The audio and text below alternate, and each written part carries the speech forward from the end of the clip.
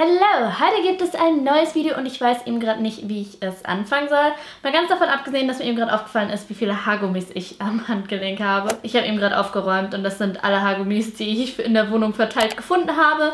Jetzt habe ich auf jeden Fall wieder ein paar Stück. Heute wird es um eine Werbung versus Realität gehen, beziehungsweise werde ich für euch wieder Outfits testen, denn diesmal habe ich in Online-Shops ein komplettes Outfit bestellt. Es ist ja oft so, dass man sich umschaut und dann das komplette Outfit sieht und und sich dann denkt, hey, das sieht eigentlich ganz gut aus, aber ich persönlich, ich könnte ja mal gerne unten in die Kommentare schreiben, wie es bei euch ist. Ich bin jemand, ich kaufe einfach immer ein einzelnes Stück. Also ich kaufe eigentlich wirklich nie ein komplettes Outfit.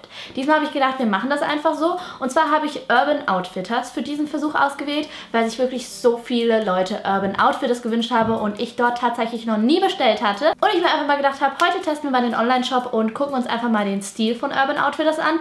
Denn der Stil von Urban Outfitters ist, würde ich sagen, schon etwas spezieller. An dieser Stelle würde ich euch gerne nochmal dazu einladen, mir auf Instagram zu folgen. Ihr könnt das sehr gerne machen, denn dort stimmen wir immer zusammen ab, was für Videos demnächst kommen und ihr könnt mir dort auch sehr gerne, da es passend zu diesem Video ist, einfach mal komplette Outfits, bitte bitte mit Link, das wäre nämlich super, zu dem Online-Shop oder auch zu jedem einzelnen Teil am besten sogar, zusenden per Instagram direkt, damit ich im nächsten komplette Outfit-Testvideo Werbung versus Realität vielleicht sogar euer Outfit dabei ist. Darüber würde ich mich wirklich extrem freuen. Es ist übrigens direkt der erste Link unten in der Infobox zum ersten Outfit und zwar sieht das erste Outfit so aus.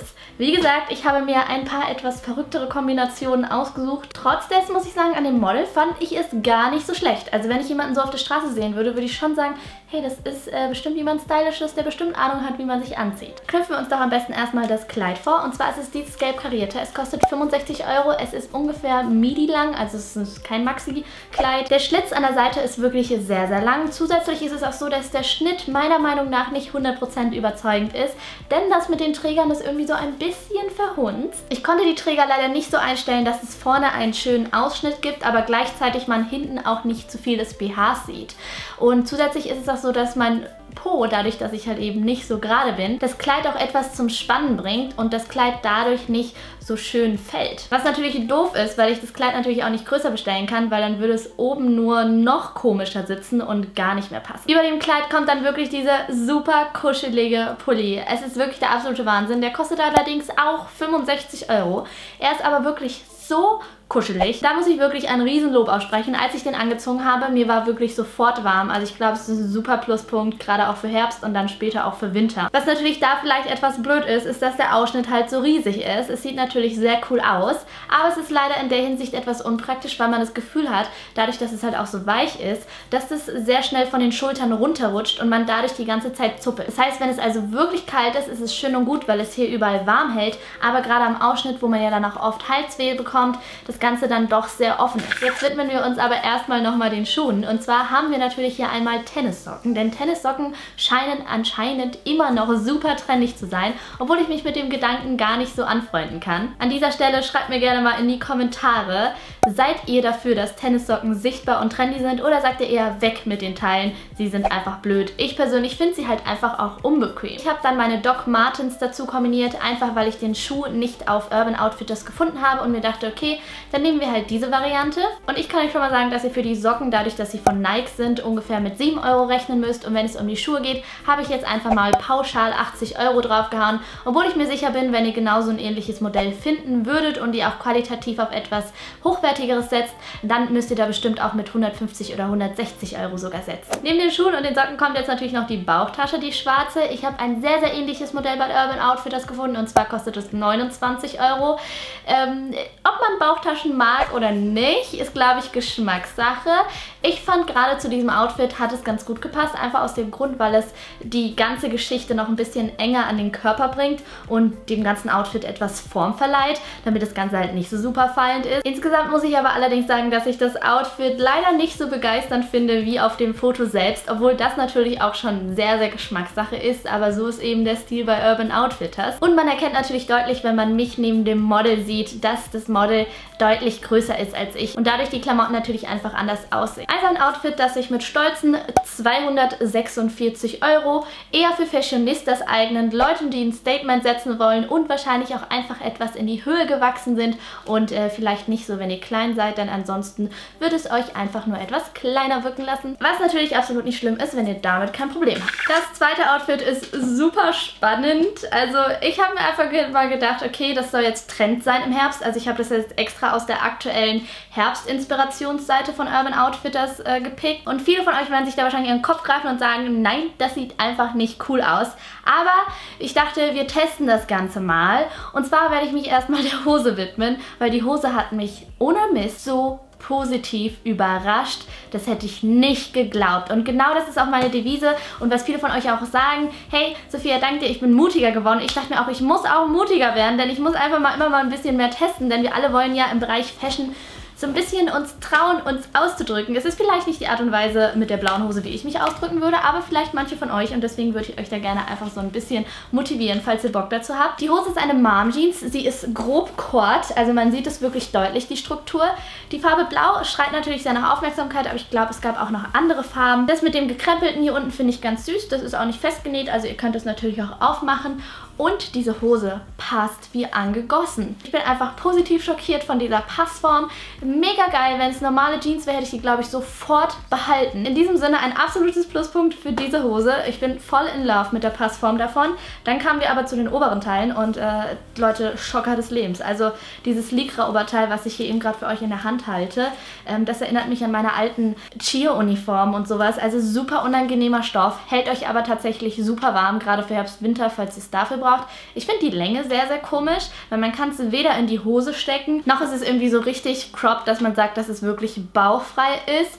Dadurch seht ihr, wenn ich mich bewege, es rutscht hoch, man, es entstehen diese blöden Falten hier oberhalb der Brust. Also es sitzt einfach nicht schön und das liegt wirklich einfach am Stoff. Und ich weiß jetzt nicht, wer von euch das irgendwie anziehen würde, kombinieren würde. Über diesem Lycra-Oberteil gab es dann dieses Champion-Shirt. Ich hoffe, ich habe es richtig ausgesprochen, die Marke, denn ich persönlich habe gar nichts von der Marke und ich habe mir gedacht, hey, ich sehe das ganz oft, das scheint ja wohl trendy zu sein, vielleicht sagt euch dieses Zeichen ein bisschen mehr was. Erstens muss ich sagen, dass mich das Material von vornherein einfach wirklich absolut nicht überzeugt.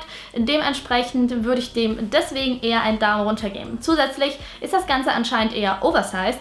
Es ist nämlich Größe S, die ich bestellt habe und ihr seht, das Ganze sieht aus wie ein Nachthemd. Also es ist wirklich so groß. Es ist unglaublich, ja, einfach, es sieht einfach nicht schön aus, würde ich sagen. Also, nee, es hat mich wirklich gar nicht überzeugt und es gefällt mir leider gar nicht. Ähm, würde mich wirklich interessieren, ob ihr das cool findet oder nicht cool findet. Es ist auch von den Ärmeln einfach viel zu lang und dieses Oberteil war dann in der Hose reingesteckt. Also ich habe es dann wirklich komplett drumherum reingesteckt, ein bisschen rausgezuppelt und selbst dann sah es irgendwie einfach immer noch zu groß an mir aus. Aber das war an sich dann auch das Outfit. Es war nämlich noch kombiniert mit ein paar Tennissocken, mal wieder und dann wieder mit Dr. Martens. Auf dem Bild sind die Chelsea-Variante der Dr. Martens drauf. Ich habe jetzt einfach meine eigenen genommen, weil ich denke, es ist irrelevant, ob es geschnürt ist oder zu ist. Ich habe euch allerdings den Preis der Chelsea-Variante rausgesucht und das war dann auch das komplette Outfit. Also da muss ich sagen, auch wenn man es neben dem Model sieht, es sieht schon so aus wie auf dem Bild. Aber dieses Champion-Oberteil, I don't know. Also ich bin voll in Love in der Hose, kombiniert mit den Schuhen und so, meinetwegen auch mit den Tennissocken.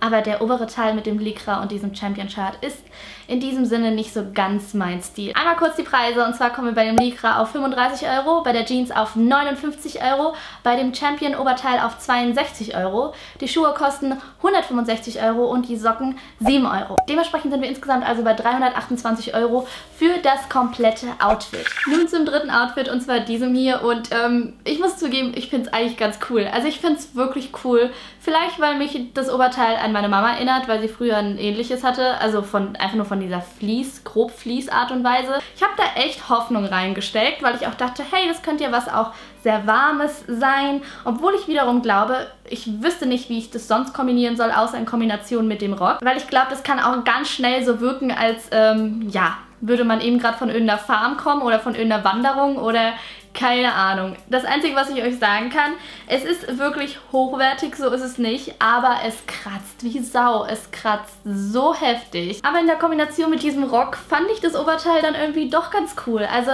der Rock ist wirklich etwas Spezielles. Es ist einfach diese Rostfarben, vor allen Dingen mit dieser sehr speziellen Waschung. Ich glaube, es ist nicht für jeden was, aber die Kombination, ich weiß nicht, es hat einfach was. Und irgendwie kann ich mir das sehr gut im Herbst einfach vorstellen, wenn ich mir vorstelle, dass die Bäume wieder alle braunblättrig sind, was ihr ja gefühlt jetzt schon sind, wegen der krassen Hitze im Sommer. Beziehungsweise wenn wir uns einfach mal vorstellen, dass die Bäume dann halt so, ne, so typisch Herbstfarben haben, so ein bisschen gelblich, bräunlich, rot, Sagt man rötlich? Ja, rötlich sagt man, ne? Und dann dieses Outfit dazu, also ich glaube, das sieht schon schick aus. Ich persönlich hätte ja dazu einfach schwarze Schnurboots angezogen, also so mit ein bisschen Absatz, damit das Bein etwas länglicher wirkt und dieses globige Fließding, ähm, ja, so ein bisschen an das gestreckte Bein angepasst wird. Ähm, ist Struggle mit den Haaren heute, ne?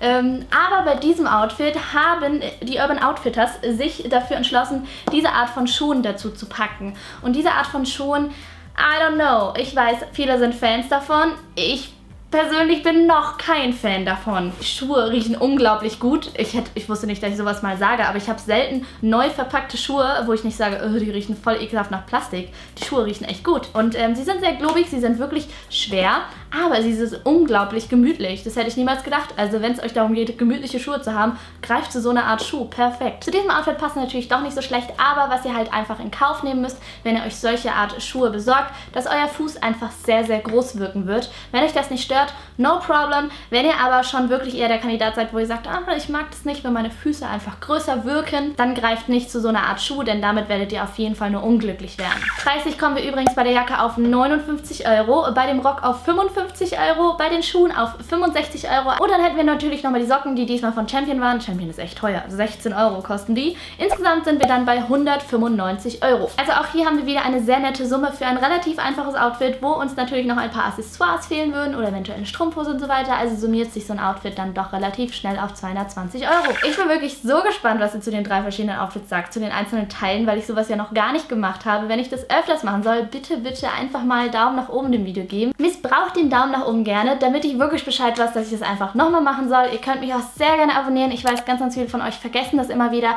Abonniert den Kanal, ihr unterstützt mich damit wirklich unheimlich. Und vergesst nicht auf Instagram vorbeizuschauen, der erste Link in der Infobox, damit ihr mir einfach eure Outfit-Vorschläge zusenden könnt. Und mit etwas Glück ist dann euer Outfit beim nächsten Video dabei. Falls ihr jetzt aber sagt, dass ihr etwas Geld sparen wollt, dann schaut euch doch am besten einfach mal das 10 Teile 35 Outfits unter 260 Euro Video an. Klickt da sehr gerne rein. Ansonsten verlinke ich euch hier natürlich noch ein anderes Video. Ich wünsche euch noch einen wunderschönen Tag und wir sehen uns dann beim nächsten Video. Bis bald. Tschüss.